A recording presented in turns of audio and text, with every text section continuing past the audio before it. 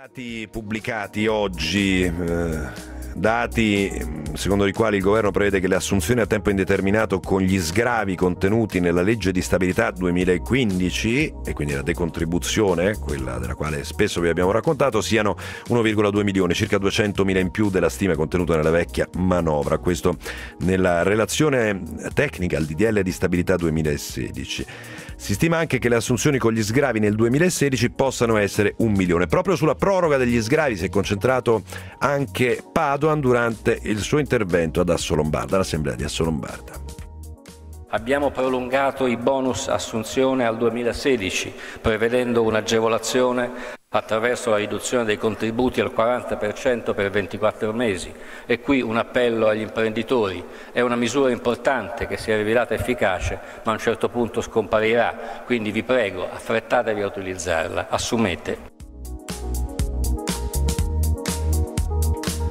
Dirò, aggiunge Padoan, che la politica economica del governo darà i suoi frutti quando vedremo un significativo e duraturo aumento dell'occupazione. Sentiamo.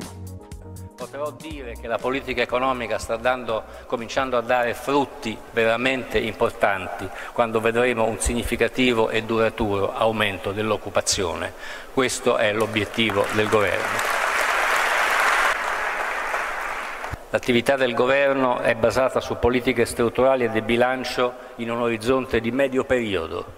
Ci saranno meno tasse per imprese, maggior reddito per le famiglie, più agevolazioni per l'occupazione.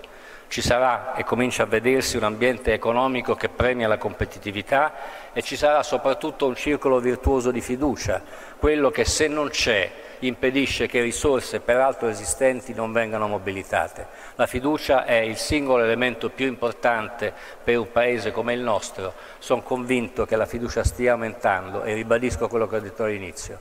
L'Italia è un posto fantastico per lavorare e per investire.